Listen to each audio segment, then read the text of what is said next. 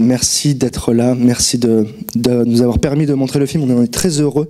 Euh, comme d'habitude, on va faire une toute petite présentation, puis ensuite évidemment, vous restez dans la salle puisqu'on va échanger avec euh, Igor et avec euh, Solène autour du film. Merci beaucoup. Je vous laisse dire quelques mots. Merci à vous de l'avoir invité. C'est un honneur. Euh, et moi je suis ravi de voir vous, vous êtes aussi nombreux pour un matin de semaine. c'est vraiment chouette. Il y a plein de monde au festival, donc c'est vraiment bien.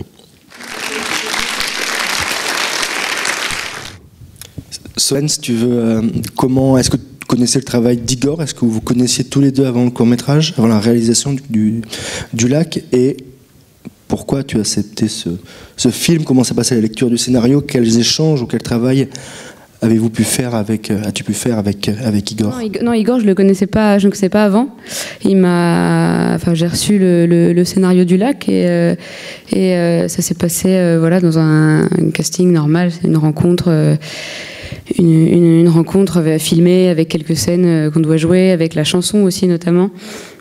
Qui est dedans, gros stress, hein, la, chanson, euh, presque comme c'est aigu.